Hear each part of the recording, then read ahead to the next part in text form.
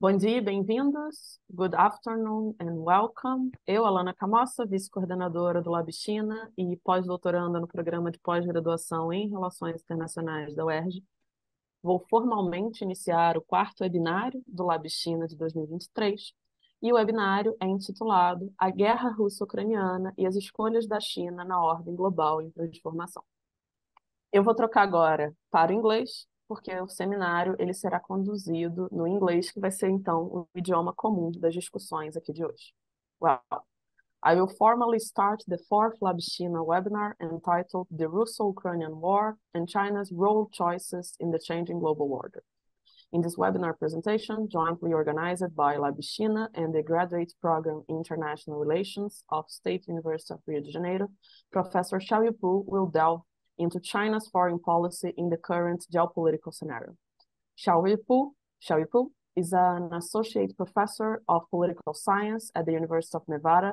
He is a member of the Public Intellectuals Program of the National Committee on United States-China Relations. His research interests include China's foreign policy, East Asian politics, and emerging powers.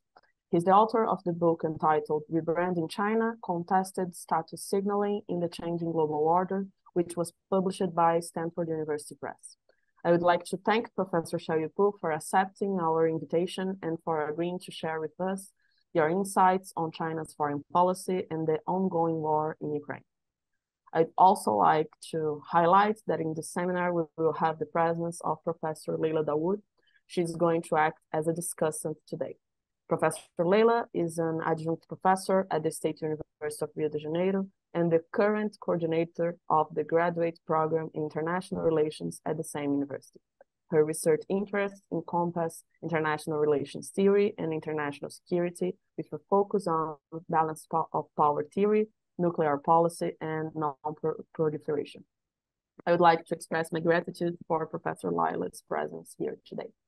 I do think that we are going to have uh, very interesting webinar, and I can imagine that some questions will arise in the minds that are the ones that are here today. So if you'd like to post some questions at the end of the debate, I will kindly ask you to post it in the comments sections, and Professor Layla Dawood or I will be responsible for reading the questions for Professor Xiaoyu Well, Without further ado, we are going to start with the presentation of Professor Xiaoyu Pu. Thank you, thank you again for your presence here today. Obrigado. That's only a few uh, Portuguese I know. So it's my uh, great pleasure to share some thoughts on this topic. And the title of my talk is Russo-Ukraine War and China's Role Choices uh, in the Shifting Global Order. Uh, this talk draw upon uh, so, sort of my older research and also ongoing research, something old, something new. So I will draw upon some of my earlier articles and book, uh, some ideas from there, but also have an ongoing research with some colleagues on the current Ukraine war and China's uh, diplomatic uh, reactions to that. Um, regarding the Ukraine war, it's really put China into a very much like a, a, a, a awkward position. Uh, on the one hand, China has always emphasized sovereignty, UN Charter, and China has maintained good relations with both Russia and Ukraine. Uh, but uh, the a lot of uh, criticism about China's position, especially from the West, from the United States. So uh, even the State Department of the United States criticized China to be like a too pro-Russia.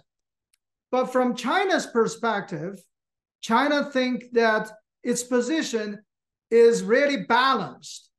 Uh, uh, I mean, the Chinese uh, Foreign Ministry a few months ago uh, published this white paper, lay out China's uh, foreign uh, policy position, uh, policy position regarding the Ukraine crisis. So try to uh, have a balanced position. But uh, from there, from here, we can see there's a clear gap between Western criticism of China's position and, and China's own sort of perception of its uh, position regarding Ukraine. But this is just one case of this kind of perceptional gap. The United States has increasingly uh, perceived China as a revisionist power, which has both intention and capability to fundamentally challenge the West, or also challenge the uh, current international order. But but China largely uh, uh, thought that this was this is a misperception. So during the multiple sort of uh, summit uh, discussions, summit meetings between President Xi Jinping and President Biden, uh, China, the Chinese leader always emphasized that, quote, the US side has misjudged and misread China's strategic intention. That means regarding China's overall strategic intention or regarding China's position uh, over the Ukraine crisis, there seems to be some kind of gap between how the United States or the West understand China's position uh, or intention and how China understands its own uh, position and intention. So this actually reflects a bigger uh, uh, a bigger question. What kind of role uh, does China want to play on the world stage? How does China think or rethink its status and role on the global stage? So in my earlier book, I argued that China is in the position, in the process of re rebranding itself on the global stage. Rebranding means repositioning. Uh, the Chinese word 再定位. uh, the efforts to building a new image for a company or a product. That, that that's a business concept. But the chinese uh, uh, analysis a lot of chinese scholars increasingly debate about china's roles what kind of role china should play or can play on the world stage. So actually since 10 years ago or more than 10 years ago the topic about the foreign policy position or repositioning uh, has become a very much a hot topic in China's foreign policy community. Even internationally, it's also uh, a hot topic. Uh, Professor uh, John Ikenberry, uh, more than 10 years ago, he argued or suggested that, quote, China is in critical respects the swing state in world politics. That means a lot of global issues, politically or economically, China's choices will shape the fundamental direction regarding a lot of issues in global politics. So that, that's the sort of the background of our discussion today is that what kind of does China want to play uh, on the on the world stage? So the Ukraine crisis or the Russo-Ukraine war triggered to some degree this kind of rethinking or debates about China's roles, both in China and also abroad. So, so I, I will talk about some bigger picture overall about China's roles or role choices in the changing global order, but also using the, the Russo-Ukraine war as a case study, uh, how this particular crisis or international conflict further triggered the debate or discussion or rethinking of China's role choices. Uh, also, uh, many years ago, I co-authored a paper with Professor Randall Schweller uh, called After Unipolarity. In that paper, we conceptualized that China potentially have three choices Number one, China could be a spoiler or, or challenger. That means China will delegitimize the existing global order and replace it with something entirely new. So this is sort of like a more confrontational, competitive approach vis-a-vis the United States, vis-a-vis the West. The second uh, option, China could be a supporter. That means China will be will be winning to take a greater responsibilities and contribute more to the existing order. Put, put simply, uh, this would indicate that China almost like a, a bigger Japan again, a bigger uh, economy. So the third option for China is that China could be a shirker. Shirker means China prioritized domestic growth uh, while shirking from taking greater responsibilities. So the third option means China does not want to confront the West, but does not uh, want to contribute more to the existing order either. So those are our sort of typologies uh, we conceptualized 10 years ago. In recent years, I rethinking this kind of framework.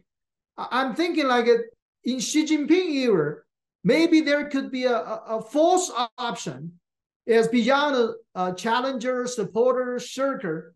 China could be a potential co-leader because obviously, uh, if uh, in the in the Jiang Zemin era or Hu Jintao era, China sort of uh, tried to be uh, uh, take a low profile, uh, low profile in global affairs, but Xi Jinping has obviously conducted a much more active or proactive.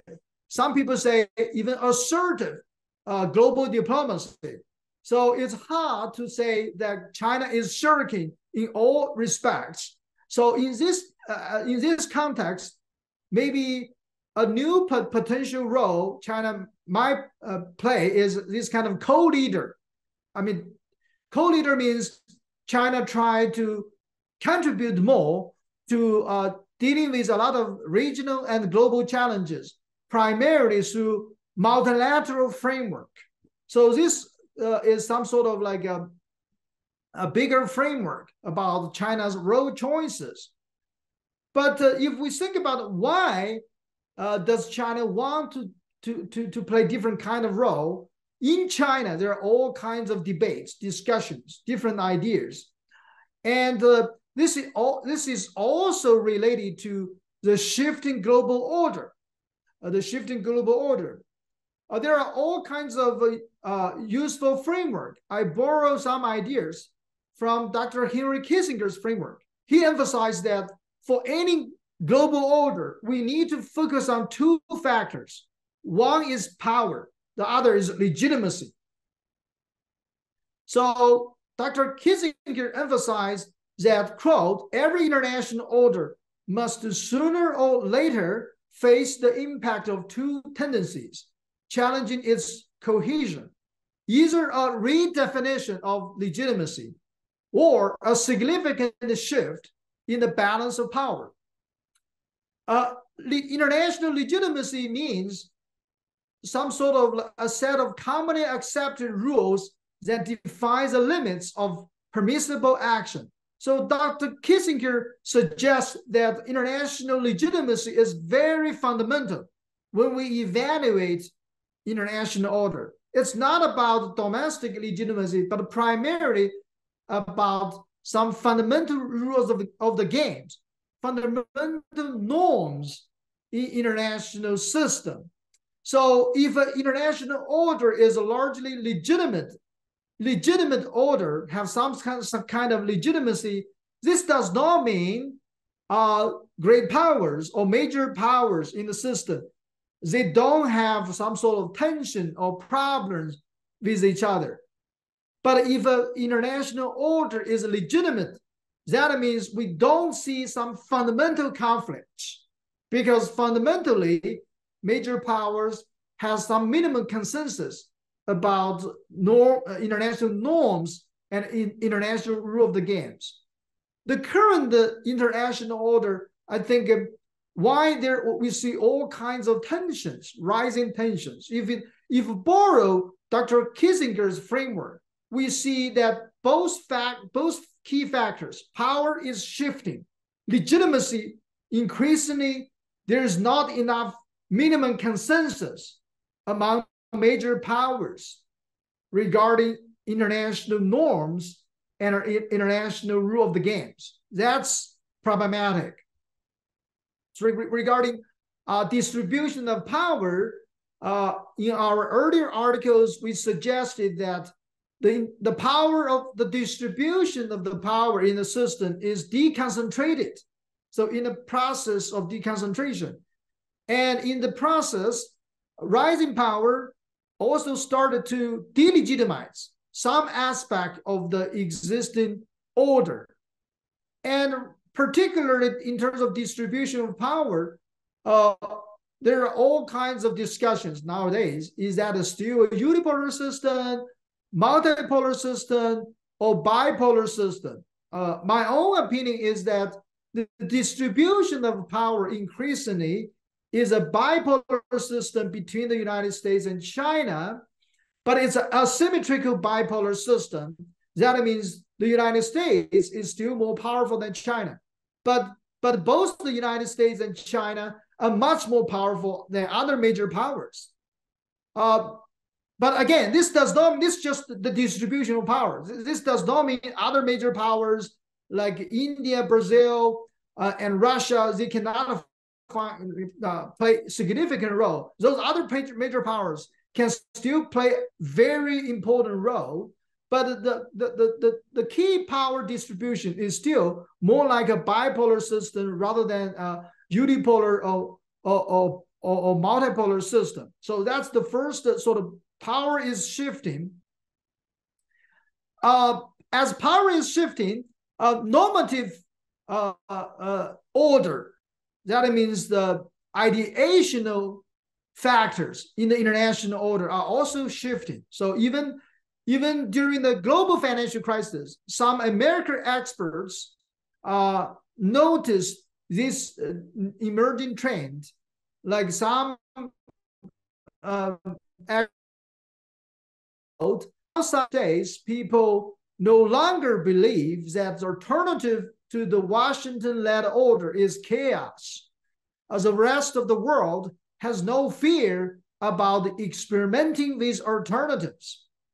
So uh, the Chinese elites nowadays, they are talking about the East is rising, the West is declining. That has become a popular sort of uh, uh, uh, uh words, popular sort of uh, uh, narrative in China. Although, in reality, we should mention that the, the notion of the East is rising, the West is declining, is also very controversial or, or even debated in, in, in, China.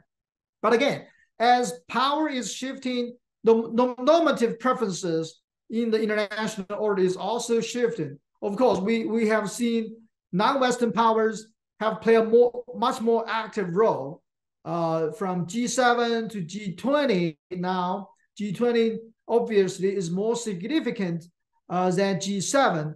The emergence of the BRICS and China led AIIB and uh, and BRI, uh, right? So all these new initiatives uh, indicate that non-Western powers try to uh, play a much more active role in, in, in a global shifting global order. So get back to the the core uh, topic of China's role choices. Uh, I argue that when, when talk about China's role choices, China really uh, has multiple identities. China is a socialist country, it's a regional power in Asia, it's a one of the major great powers, uh, and also it's still emphasizing its developing country status. And some people uh, also uh, increasingly use uh, superpower to describe China. Although I should emphasize that the notion of superpower is uh, is like a very controversial in China, in a sense that the Chinese officials, the Chinese government, have never formally used superpower to describe China's current and future international status. Although international media, international scholars increasingly use uh, superpower status to describe China's potential uh, in the future. But also China is uh, facing multiple audiences while dealing with its role choices, uh, including domestic audience, regional audience in Asia, the global south, obviously, and also the West. So these different audiences sometimes have uh, different, uh, even competing expectations regarding China's role uh, on the global stage.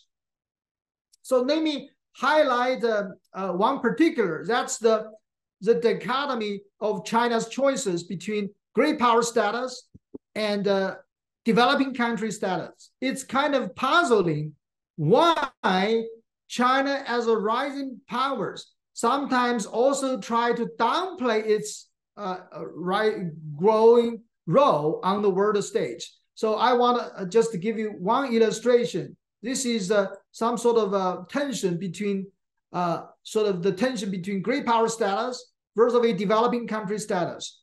So over the past 10 or 20 years, China has invested a lot of uh, projects, programs from Olympic Games to a new aircraft carrier project. All these uh, uh, indicate China really tried to play a great power role. Partially, this is also for domestic consumption, not just international.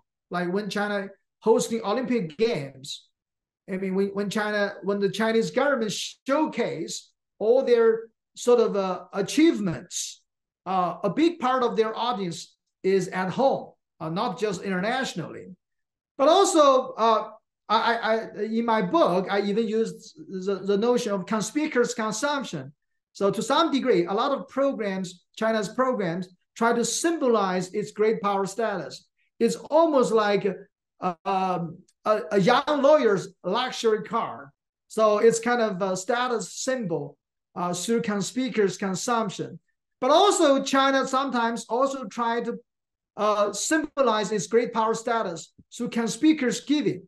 So a few years ago, uh, leading Chinese experts, Dr. Ruan Zongze, uh, an expert uh, um, in China's foreign ministry think tank, uh, when he described China's role in the six-party talk dealing with North Korea nuclear crisis, he said, quote, China has been the convener and host of the six-party talk. We Chinese provide a free meeting room, free coffee, free drinks, free cookie. We have made great effort. Uh, that's to some degree a little bit hilarious, right? Oh, how good.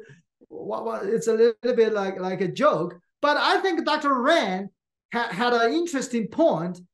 He, he wanted to uh, demonstrate that to some degree, the Chinese government has increasingly uh, has has has some sort of uh, stronger willingness to to to provide international public goods through multi, multilateral forum either dealing with regional crisis or dealing with uh, a climate crisis and other issues.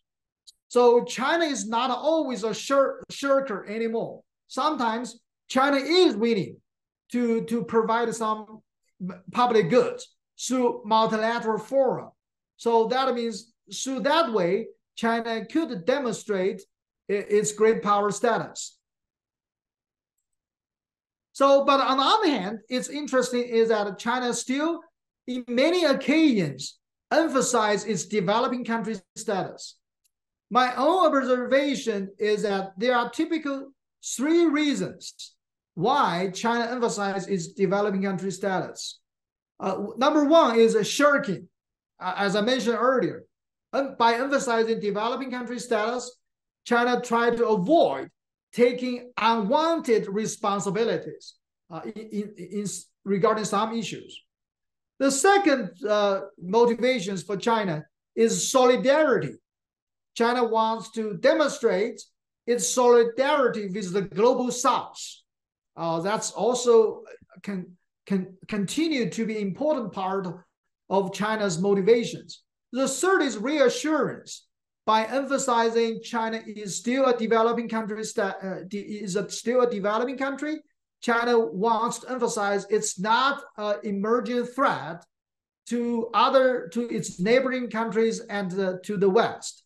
So whether that kind of narrative is persuas- persuasive or not, that's debatable. But uh, my observation that for the foreseeable future, China will continue to emphasize its developing country status. If we get back to our original question is that how about the Ukraine crisis, right? The Russia-Ukraine war. what kind of role China wants to play in this kind in dealing with this particular urgent and a significant uh, international crisis or conflict. I argue that China have some sort of contradictory role choices. Uh, officially, China, the Chinese government or Chinese officials often emphasize two types of role. On the one hand, uh, China emphasizes it's not a, a party or, or, a part of the conflict. So it's Chinese officials often emphasize that it's a real conflict between Russia and Ukraine, indirectly between Russia and the West. China is should not be blamed for this crisis or for this conflict. So there, Chinese officials, their emphasis is try to avoid to, to, to be to take unwanted responsibilities. So that's a kind of shirker narrative. But on the other hand, uh, China also sometimes indicate its willingness to take some um, some sort of more proactive role. Uh, like uh, President Xi Jinping sent his special envoy uh, to to Russia, Ukraine, and some European countries uh, earlier this year, and China wants to to to play a sort of like a mediating role whenever possible. So in that sense, to some degree, if possible, maybe China wants to be a co-leader in dealing some of these uh, uh big crises, including the Ukraine uh, crisis. But I should emphasize the mainstream official positions. My own observation is somewhere between shirker role and co-leader role. But within China, there are uh, foreign policy experts, intellectuals, popular uh, opinion shapers, uh, opinion uh, leaders in China. There are also different kinds of uh, ideas. Some people strongly support Russia because they think that the United States is ultimately the major rival. So, so in, in that sense, they are advocating that China should join Russia and pursue a totally like anti-West, uh, anti-US agenda, uh, pursue that kind of approach. That's sort of like a challenger spoiler role. And but on the other hand, there are some Chinese intellectuals they completely or strongly support Ukraine and, and even to some degree support the position with the West. And they argue that Russia is absolutely losing the war in a larger sense, that China should uh, should really join the West in in even uh, in in in sort of distance itself from Russia as much as possible. So so that's kind of like that kind of narrative is still uh, uh still exists in China. So and uh, so overall, I think uh, uh regarding role choices, uh, China's role choices in, in the Russo-Ukraine war, there's also, a, as I mentioned, a huge gap between perception and, expectation in the United States, in, in the West. So U.S., maybe some uh, European officials uh, primarily see China as a challenger or spoiler uh, in the crisis, but ultimately some of their narrative expect China to be a complete supporter, uh, like completely support the Western position regarding the crisis. So I think that's a kind of huge gap there. Another potential gap I would argue is that uh, this kind of uh, narrative versus policy gap. That means uh, that means uh, China's narrative or propaganda is, is more pro-Russia than China's actual foreign policy behaviors. So that's another uh, potential gap, yeah, potential gap let me uh, explain a little bit more why it's the case. Is that China's media narrative, um, why there, uh, to what degree uh, China's media narrative has this kind of strong pro-Russia bias, echoing Russia's talking points throughout uh, the, the conflict, blaming the United States and NATO entirely, downplaying the war atrocities uh, in Ukraine, and promoting some like a conspiracy theory originated from Russia. So these are like if if you check China's uh, media narrative, it's pretty like as much like pro-Russia. But on the other hand, if we carefully examine China's actual policy uh, position of policy behaviors, it's it's a little bit much it's it's it's much more nuanced and much more careful. So, like for instance, China's media narrative has all this pro-Russia uh, position, but it, China's foreign economic policy uh, really uh, very prudent. China has not, like uh, like uh, like uh, Chinese companies, um, China, ha, like largely comply with Western sanctions, um, and China has not provided like any missile weapons uh, to to to Russia. Although there's some news coverage talking about maybe some Chinese companies they are selling selling some equipment might have dual use purpose, both civilian use and military use. But that's a little bit more sort of complicated issues. But overall, China's economic policy is that try to maintain normal uh, relations with Russia uh, as much as possible, but it does not violate uh, uh, uh Western sanctions in economic transactions. Number two is that uh, even China's media coverage is more pro-Russia, but China's diplomatic approach is more prudent. China tried to balance its various considerations regarding the uh, uh, crisis.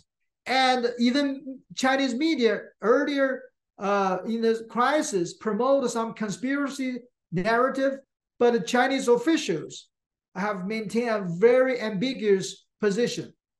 Uh, uh, Chinese Foreign Ministry spokesperson Zhao Lijian initially he he uh, sort of uh, in his uh, uh, in his, one of one of his uh, speeches he mentioned about the conspiracy narrative uh, regarding some biolab in Ukraine. But interesting enough, then the, Mr. Zhao's uh, uh, he's a, uh, as a spokesperson, that particular speech, the English transcript was removed from Chinese foreign ministry. Of course, uh, uh, Mr. Zhao was very controversial as a spokesperson. He was removed from his position earlier this year. So my, my point is that this, despite uh, despite sort of uh, China's narrative is a little bit pro-Russia, especially media narrative, but of China's official policy is much more prudent, uh, uh including its economic policy and its diplomatic approach regarding the Ukraine uh, crisis. And a, a, a, brief explanation of the gap regarding narrative and policy. Uh, national leaders, Chinese national leaders, foreign policy officials, they, they are facing the pressure of, of multiple international audiences, including uh, Russia, including the global South, including the West. They must be they must carefully calculate uh, their for, formal uh, foreign policy position. But China's media uh, uh, media professionals, propaganda officials, uh, media editors, they are motivated by domestic forces, uh, including consideration of political sensitivity and but domestic nationalist sentiments. So in recent years, given U.S.-China tension, anti-U.S. sentiment is rising in China. You can imagine, uh, uh, so sort of popular sentiment has this kind of pro-Russia, pro-anti-U.S. Uh, sort of uh, uh, orientation. So the media narrative, to some degree, uh, accommodate some kind of domestic uh, preferences, but internationally, China's uh, foreign policy position must be much more careful. So let me summarize uh, my point is that the first uh, conclusion is that is China really challenging the U.S. or Western-led international order? It's kind of complicated. Uh, I would argue that China's role choices are still contested, both domestically and internationally. So potentially regarding the Ukraine uh, crisis, uh, China's uh, mainstream official position is somewhere between a shirker role and and um, and a co-leader role. But uh, in a broader sense, uh, there could be a more extreme version of anti-West narrative, uh, some kind of like a spoiler challenger role. But there are also uh, some intellectuals in China talking about a much more pro-West uh, position, the opposite of the other side. So I think the government position is a, a, a little bit more prudent than the the the, the uh, sort of uh, uh expert communities or intellectual uh, circles. But uh, but again, regarding China's role choices, are still pretty much contested. The second, regarding the the earlier question, can China still be a swing state in world politics? The dominant Western narrative already puts China in this kind of like a anti-West club. Uh, but I would argue that within China, maybe the real uh, position is much more nuanced and complicated. Deng Xiaoping in 1980s, he talking about the fundamental problem in world politics is peace and development. Peace, that's the East versus the West. Development, that's the global South versus global North. Professor Wang Jisi, one of the most influential strategic thinkers in China, many years ago, he wrote an interesting article. He talking about East, West, South, North. China is in the middle. Uh, at that point, his argument was that ideally, the best position for China is in the middle. Uh, China is somewhere between the, the global south and the global north. And China is somewhere between east and the west.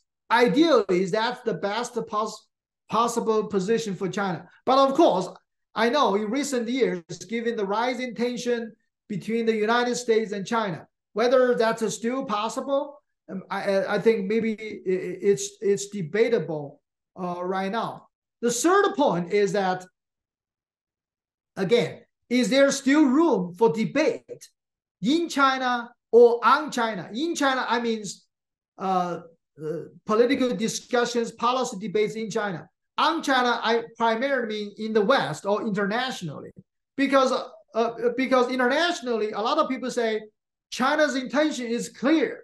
So uh, the debate about China's intention should be over. That's a lot of narrative in Washington, D.C., talking about China as a revisionist power. The debate about China's intention should be over. But uh, this is also related to China's domestic politics. A lot of people say, given China under Xi Jinping, uh, President Xi has concentrated his power, right? nowadays, how could be there any like a debate or discussions on any policy issues in China? Everybody should just follow President Xi's guidance. That's over. That, that, that's it, right? There's no debate. But my own personal observation uh, over the past uh, one years uh, regarding the Ukraine crisis that I mean the the the Russia-Ukraine war uh, is a very polarized, is a very much a polarized topic in China, both at elite level and, and also at societal level. So one of the news, if some colleagues can read Chinese, I, I can translate you the story. Last year, uh, the, the initial uh, stage of the of the Ukraine war, uh, two retirees in Shanghai, uh, they had a, like an argument in, in the public park uh, about uh, the, the Ukraine war. So one retirees support Russia, the other retirees support Ukraine. Then they had a street fight. In the end, the winner the winner went uh, uh, went to the jail and the, the loser went to the hospital so that showcase just vividly how polarized the topic could be in, in chinese society at, at the uh, elite level at least a lot of uh, foreign policy experts they are he, he, heavily debating about this topic in the past few months uh, a lot of uh, uh, interesting discussions uh, going on there. So I would argue that even uh, even uh, nowadays, there are still lively debates regarding a lot of policy issues, especially foreign policy issues in China. even President Xi has consolidated power. China is not like a unitary monolithic actor in international affairs. So we still need to pay attention to a lot of nuanced voices in, in China. Uh, my final point, quickly, is that in terms of foreign policy implications, especially for the United States and for the West, is that the United States should have a much more accurate understanding of China's intention, and the West should have a more realistic and limited goal while pressuring China during the uh, Ukraine crisis.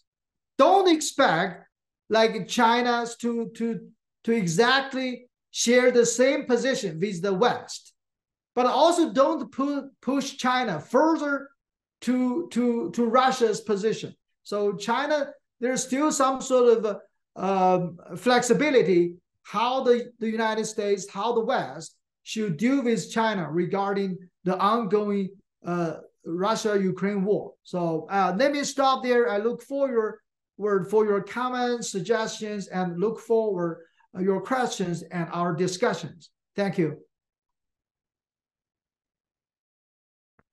Thank you very much, Professor Xiaoyu Pu. Now I will I will ask Professor Layla to initiate the debate. I was I just wanted to say that I have been following your work in the last few years, and it was really interesting to hear your talk today. And Professor Layla, the floor is yours. I'm just trying to uh, understand how to unpin Professor uh, Pu. I try to do so. Is it possible that you stop sharing the screen, Professor Pu? Ah, okay. Yeah, okay. Uh, do you listen? Uh, do you hear me? Is it okay? Okay. Thank you so much. I'd like to start uh, by thanking Alana for the invitation. It's a real pleasure and honor to be here engaging with Professor Pu. Thank you so much for your lecture. Uh, Professor Pu, I was I was wondering if we could talk a little bit both about your talk and your work, uh, since uh, you uh, in your uh, speak in your talk you mentioned some some of it, some of your work.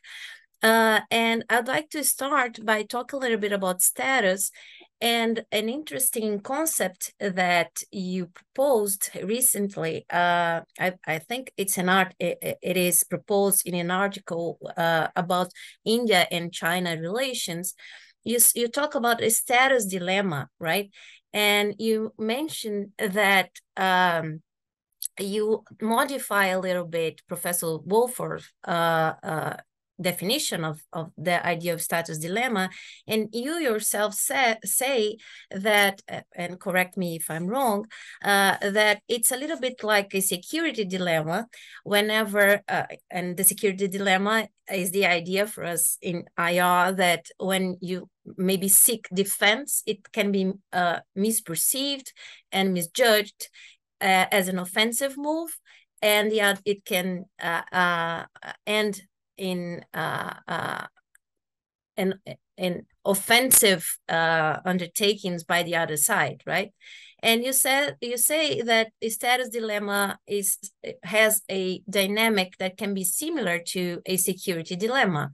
Uh, that maybe one side wants status not at the expense of the other side's status, but it can be misperceived, misjudged, mis uh, uh, uh as as uh, a competition, and the end result may not be uh, peaceful, right?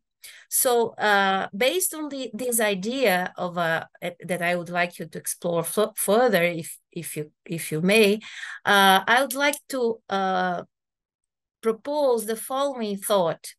Um, is it is the role of a co-leader available for China? And I'm basing this question on your own definition of a status dilemma, right?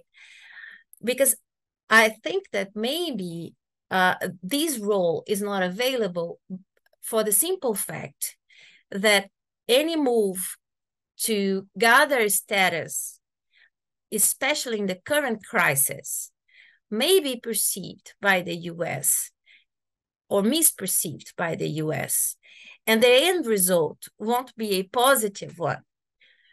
Uh, so the, the, the the the idea that I would like to also propose or to, in a sense, uh, challenge you, co-leader with whom, right? Because I think that you could be a co-leader. Uh, you could imagine uh, China and Russia as co-leaders, right? But China and the United States as co-leader, maybe not. Uh, you could imagine that there there isn't a dilemma, a status dilemma between China and Russia, but probably there is a status dilemma between China and the US, right? So those would be the first questions. Co-leader with whom? With the US, with Russia? And is it available? Is this role available for China? Uh, the second uh, thing that I would like to ask is uh, more uh, it's not necessarily connected to status uh, and status claims but to the material results that the war uh, may have for china uh, the concrete results right uh, i I always think, not that I like Professor Mearsheimer that much, but I always think about the strategy that he says is available for great powers, which is bloodletting. And it seems to me that maybe something, not doing much in the case of China, and letting both sides bleed, Russia and the West, will lead to beneficial concrete results financially and military for China. So I would like you to de develop a little bit further on the concrete results of the war uh, for China financially, and also uh, in regard in relation to its relationship to Russia. And there are some uh, scholars that say that the end result might might be that Russia will be the junior partner due to uh, Russia's uh, growing uh, dependence on on China, right? Uh, another uh, uh, discussion that I would like to propose is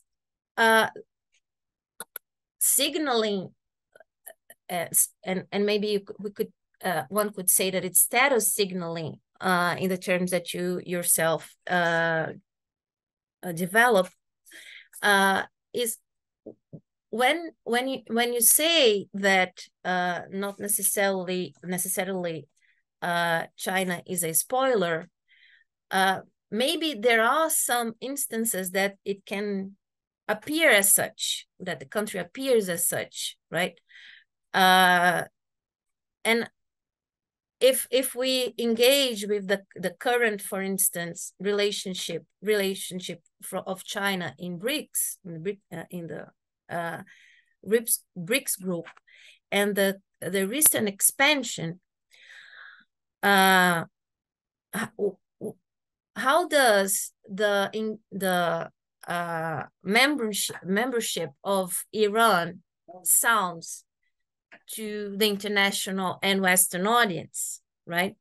Uh, how do that uh, engagement with Iran within BRICS uh, resonates with the idea of status signaling and the idea of not being a spoiler of the current system. What's what would be your or your thoughts on that um, issue?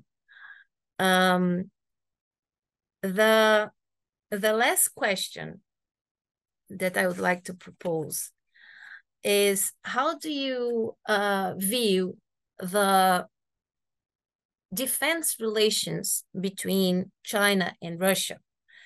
Uh, they are sure not engaged in a formal military alliance, but they are certainly uh, cl closer to each other in the sense that they have formal agreements, uh, that uh, they have uh, military exercises together. So there are uh, some activities in defense uh, related areas that suggest that they are not an alliance, but they are uh, maybe closer to external balancing that they once were.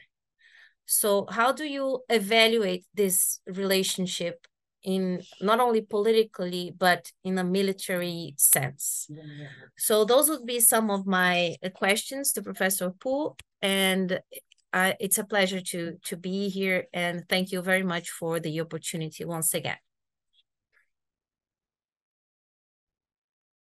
Okay, uh, I, I respond first, then we open. Okay, good, good. Thank you, Professor Dawood. I think your your questions are very thoughtful. Uh, I think uh, all these are very important, very thoughtful questions.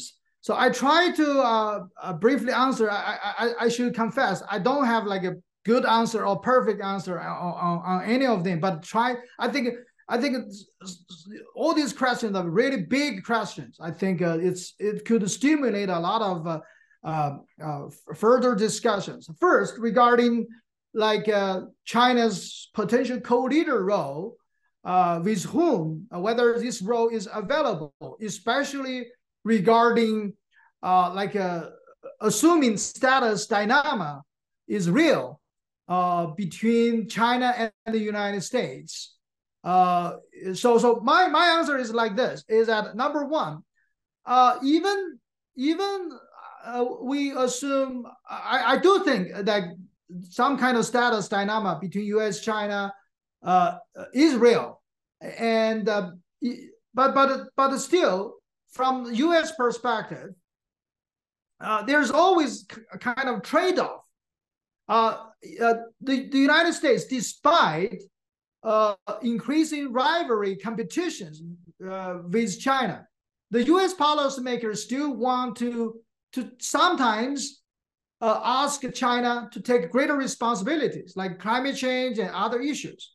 So that's from Obama administration. That was maybe even more obvious. But now, given competition is up in front, sometimes people forget about the other side. Actually, for a long time, U.S. policymakers uh, uh, has always encouraged China to play a more active role. It's just in recent years, the competition has become more salient. People forget that the rationale from US perspective is to ask China to share greater responsibility, take greater burdens. So I think regarding the Ukraine war, I noticed that the earlier narrative from US officials uh, were much more negative regarding China's role. But in recent uh, months, I noticed the, the narrative is, I think, gradually shifting in a sense that to some degree, if, if China can play some kind of positive role, that should be largely welcome, even by the United States.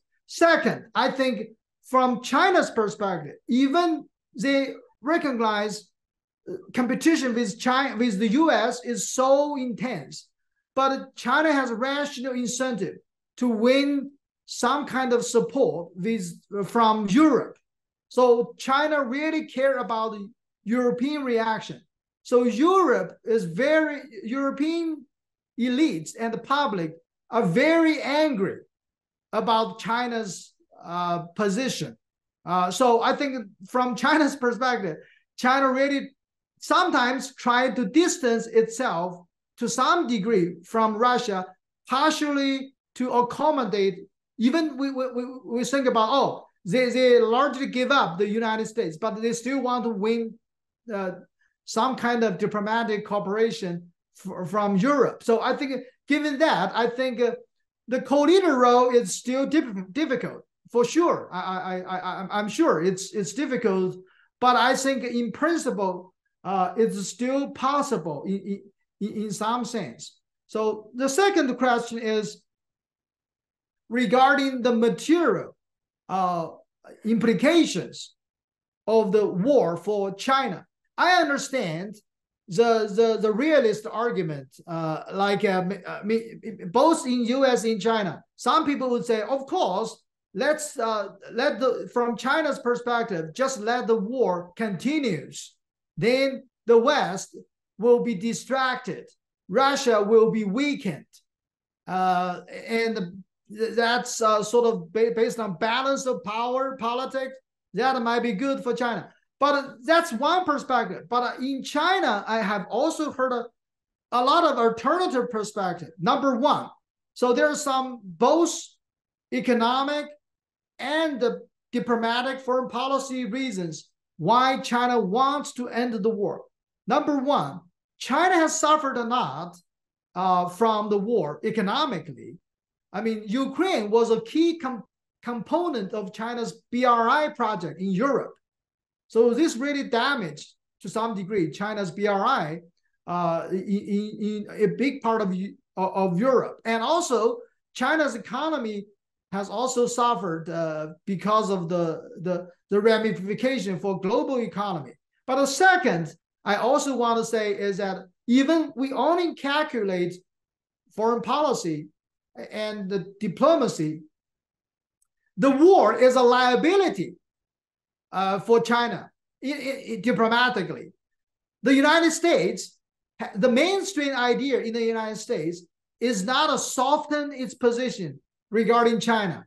Actually, uh, the United States uh, has a, has sort of like a, continue its competitive posture against China, despite the uh, the, the the distraction. So so strategically, uh, this does not dilute U.S. strategic attention from China. But furthermore, as I mentioned earlier, this has become a huge liability for China to, to maintain relative good relations with Europe. I think Chinese policymakers realize that if the war continues, there's no way China could maintain a better relations with Europe. I think again, for a lot of reasons, I mean, there, I, I, can understand this kind of uh, pure power politics calculation, but I think in, in practice, in foreign policy, economic practice, China has rational incentives to end the war earlier. The third question regarding signaling, or status signaling, so whether this kind of spoiler role or challenger role, uh, whether China can avoid that kind of image, uh, especially regarding the recent BRICS expansion. So I, I should say that that's exactly, I think my point is that uh, China's role choices are contested in the sense that some of China's, uh, for even ideally, the rational position for China is to play a either shirker role or co-leader role. But uh, some parts of China foreign policy uh, behaviors might give the outside uh, uh, observers an impression is that China is organizing an anti-West club, right? So, but I would think uh, mm, uh, it's it's more complicated because because because even the the BRICS expansion, uh, maybe China's calculation is more complicated. Like a uh, like for China, the, the, the there's a debate uh, whether BRICS should be further expanded.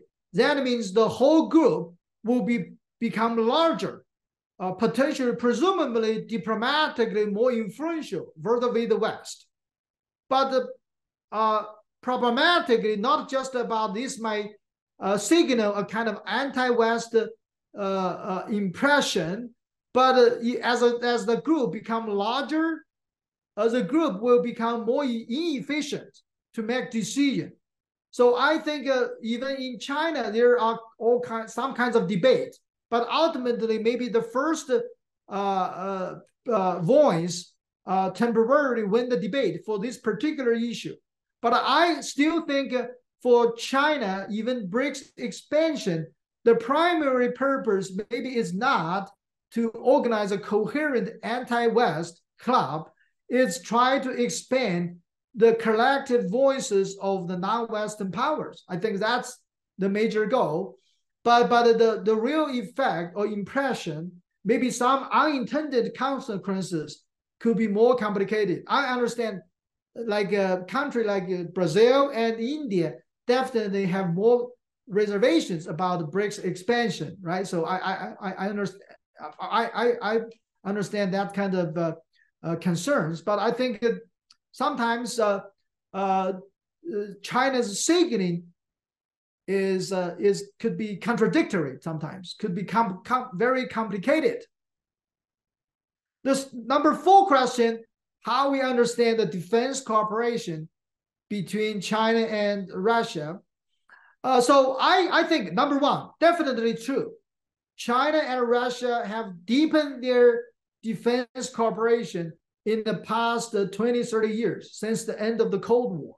China has purchased a lot of weapons from Russia. Uh, but uh, but that's uh, I think uh, because a lot of reasons. But on the other hand, I think there are still important limitations. the strong relations between China and Russia is not a military alliances. Number one, because both China and Russia want to maintain strategic uh, strategic autonomy. That's still very important. So China does not want to be entrapped into a conflict just because of Russia is trapped in a conflict. I think Russia does not want to entrapped in in China's potential conflict either.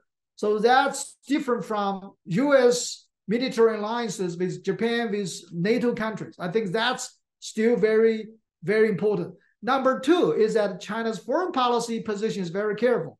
Russia officials criticize Ukraine like they have some sort of extreme, like a negative narrative, talking about Ukraine government as a not new Nazi regime. The Chinese officials have never used that kind of narrative to describe uh, Ukraine domestic politics. So there are some limitations that both China and the United and Russia they understand they want to build partnership, but the partnership is different from uh, sort of unlimited uh, sort of uh, military alliances. Yeah, let me stop there. I think all these questions are very important. Uh, I just provided some sort of tentative answers. So, so thank you again for your wonderful questions. Yeah. Thank you, Professor Layla. Thank you, Professor Xiaoyu Pu. Uh, we have some questions from the audience. I would just like to to check if someone wants to pose a question directly. No? Okay. So we have two questions from the audience, and I also have one question. Uh, the first question is from, let me check again. It's from Marcelo Azevedo. China currently has four of the five largest, largest banks in the world by assets. And how could this change the balance of power. So the person wants to understand how the China having four of the five largest banks in the world would change the balance of power. And also we have one more question that was posed by Eduardo Fantini. earlier this year, China released its position on the Ukrainian crisis and presented 12 points. One of the points refers to abandoning the Cold War mentality. So the Eduardo wants to understand how do you see and analyze this position regarding the four role choices for China to follow in the new era? And also, I have one question regarding the domestic audience. I know that you decided, you talked a lot about it in your presentation, but usually when we start learning or studying about China's foreign policy, and especially China's foreign policy decision making, uh, it's not that clear for us. It's not that, that clear for us to understand the decision making process.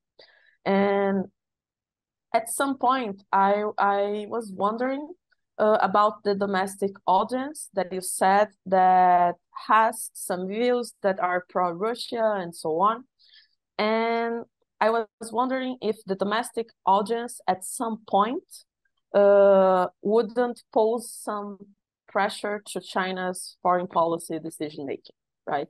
So I was wondering why uh, we do not see that much of the Chinese authorities maybe controlling the pro-Russia uh, movements in the Chinese media, and how and if at some point the domestic audience can pose a threat, I would say like that, for the China's uh, decision to stay in the i would say i wouldn't say in the middle uh, yeah we can say at some point in the middle eh, but not say like pro russia nor pro ukraine or something like that. That's are the questions that i have. Uh that's it. So we have okay. three questions. Okay. Yeah. The first uh, about uh, uh whether china has some of the largest banks whether that that uh, uh changed the balance of power.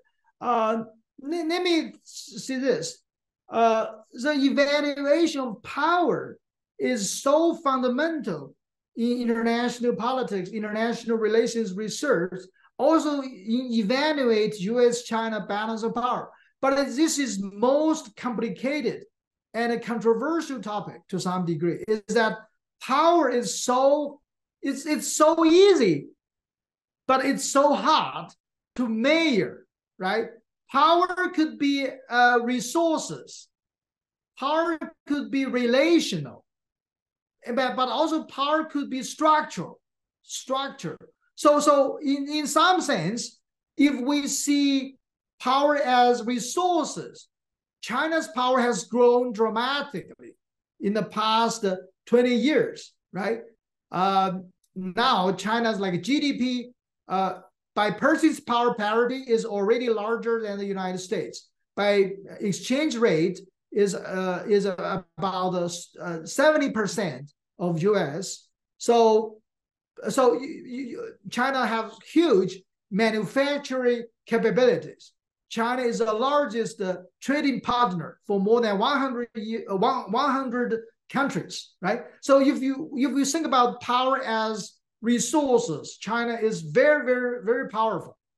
Uh, to some degree, catch up with the United States in various indicators.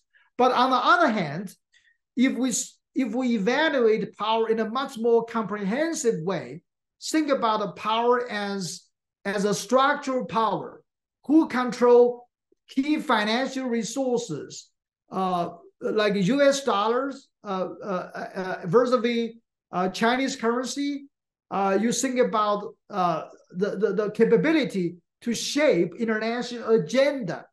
I think if we think about power like that, I think the United States is still more, much more powerful than China. So again, depend on how we measure power. So if, if we only count money, maybe China is much more powerful than we conventionally might assume. But if you think about power in structure, is a structured power. Uh, it is a structural power. Uh, depend on agenda setting capability. Uh, the, the key financial power. I mean, I think regarding a lot of these kind of dimensions, the United States is still more powerful than China. Regarding uh, China's like uh, the, the uh, political position on the Ukraine crisis, especially criticize the Cold War mentality. So I should emphasize that a document is very comprehensive. Uh, that's really summarized China's most formal uh, government position regarding the Ukraine crisis. So my understanding of that that that government document is also have some some sort of different components. Some components definitely indicate China is willing to play a more active role in dealing with the crisis. Uh, but other components, China emphasized is not a direct part of the conflict. Uh, there, China wants to distance uh, itself. So I, I, overall, I think that that uh, my own interpretation is that that document is very nuanced, uh, very prudent. But again, uh, initially some people talk that's a peace plan, but that's that that document is not a peace plan because it's not like a, a sort of a, a, specific. It's just summarize some general principles of China's uh, position. Uh, it does not offer like any concrete uh, position, a concrete uh, sort of uh, proposal how to really solve the problem. I think that's the uh, that's the Chinese government document regarding U- the Ukraine crisis. The final, the third question about the domestic audience pressure. Um, and whether the Chinese government really control pro-Russia uh, uh, pro-Russia opinion. Uh, so, uh, so my my sense is that uh, uh, number one, regarding the foreign policy process, the I, I think even though public opinion is is important in any country regarding political regimes, but regarding China, the public opinion, the role of a public opinion is indirect in Chinese case. Unlike the uh, maybe unlike the United States or Brazil, maybe public opinion could directly shape election. Right in China, there is no competitive election, so public opinion role is much more indirect uh, in China. So in that sense, I think um, there's some kind of more more sort of interactive processes between uh, the government position and the public opinion. So public opinion is largely shaped by government propaganda to some degree. So in that sense, so even my own argument is that China's uh, uh, government position is relatively balanced so I'm not saying China's position is absolutely neutral. So some scholars say China's uh, China's position is pro-Russia new, neutral. So it, in a sense that it is still a little bit pro-Russia, but it's not as pro-Russia as some people think. I think that's the so in a sense that the but the because of the propaganda, because of other factors, the pro-Russia opinion is much more salient than than the real than than, than Chinese government real position, right? Let's just uh, uh, just talk about okay. Assuming China's position is like a uh, like a sixty percent pro-Russia, forty percent on, on the Ukraine side. That's government position, but the, the public opinion could be like eighty percent pro-Russia, 20% pro-Ukraine. But uh, what I my my observation is that in some sort of among some intellectual or foreign policy experts in China, it could be the opposite. So it could be like more experts maybe support the Ukraine position. Uh, only a few experts support Russia's position. It, it could be done like that. So it's much more complicated picture than we conventionally might assume. Yeah.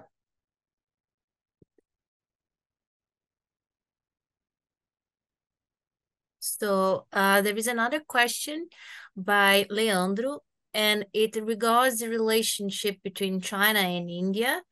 And uh, uh, he uh, it's a long question, but uh, he uh, narrates the tensions between India and China, and he asks how much are these tensions reflected in BRICS, and are those perceived by its uh, other members, BRICS members, as potential uh, as a potential weakness to BRICS, and he thanks you.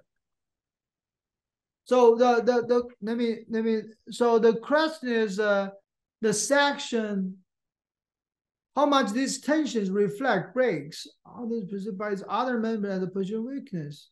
So the what's the weakness? Why is the weakness uh, of, of the BRICS? Because of, because BRICS because Russia uh, the tension between China and India. Uh, that's the uh, part of the weak weakness of the BRICS. Is that the qu question primarily? Yeah, he asks if if uh, the tensions between China and India uh, pose a weakness to BRICS or determine oh, yeah. a, a yeah. weakness. Yeah, yeah, sure, sure. That's exactly, of course, that's exactly uh, a big problem for BRICS. Uh, it, it unlike G7, uh, right?